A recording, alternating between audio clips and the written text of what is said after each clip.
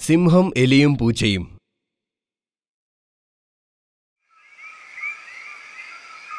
ഒരു കാട്ടിൽ സിംഹം ഒരു ഗുഹയിൽ താമസിച്ചിരുന്നു. ഗുഹയിൽ ഒരു പൊത്തുണ്ടായിരുന്നു. അതിലൊരു എലി താമസിച്ചിരുന്നു.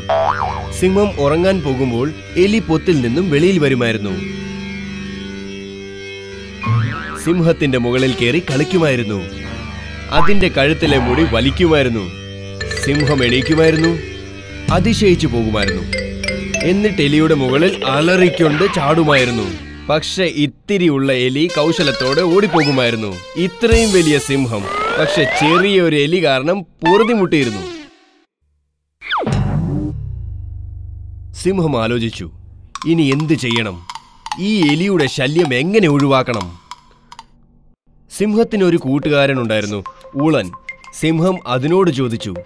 ഊളൻ പറഞ്ഞു ഞാൻ ഒരു പൂച്ചയെ കൊണ്ടുവരാം. എന്നിട്ട് നിന്റെ വിഷമം അകറ്റാം. ഊളൻ ഒരു പൂച്ചയെ കൊണ്ടുവന്നു. പൂച്ച സിംഹത്തിന്റെ മടയിൽ താമസിക്കാൻ തുടങ്ങി. പൂച്ച വന്നതോടെ എലി പൊത്തിൽ നിന്നും വെളിയിൽ വരാതെ ഇരിക്കുമായിരുന്നു. സിംഹം സുഖമോടെ ഉറങ്ങാൻ തുടങ്ങി. അതിന് വളരെ സന്തോഷമായി.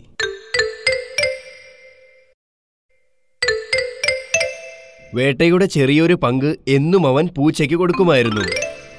അപ്പോൾ ഊളന്റെ പങ്ക് കുറഞ്ഞു വന്നു. ഊളൻ അത് ഇഷ്ടപ്പെട്ടില്ല. അവൻ പൂച്ചയെ ഓടിക്കാൻ തീരുമാനിച്ചു.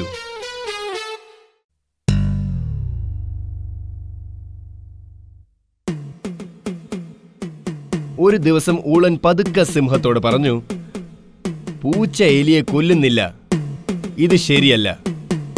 പൂച്ച എലിയെ പിടിച്ചേ മതിയാകൂ. അതിനെ കൊല്ലണം. സിംഹത്തിന് ഊളൻ പറഞ്ഞത് ശരിയാണെന്ന് തോന്നി. അത് പൂച്ചയോട് പറഞ്ഞു ഒരു പ്രാവശ്യം എലിയെ എങ്ങനെയെങ്കിലും കൊല്ല് അതിനെ തീർത്തുകളാ. അപ്പോൾ പൂച്ച തക്കം പാത്തു നിൽക്കാൻ തുടങ്ങി.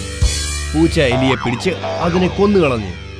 അപ്പോൾ ഊള നേരെ സിംഹത്തോട് പറഞ്ഞു എലിയുടെ ശല്യം എപ്പോഴത്തേക്കും മാറി. ഇനി ഈ പൂച്ചയുടെ എന്താവശ്യം? സിംഹത്തിന് കാര്യം ഇഷ്ടപ്പെട്ടു. അവൻ പൂച്ചയെ വെളി കളഞ്ഞു. ഊളന് വളരെ സന്തോഷമായി. പൂച്ചയുടെ പങ്കും അവന് കിട്ടാൻ തുടങ്ങി.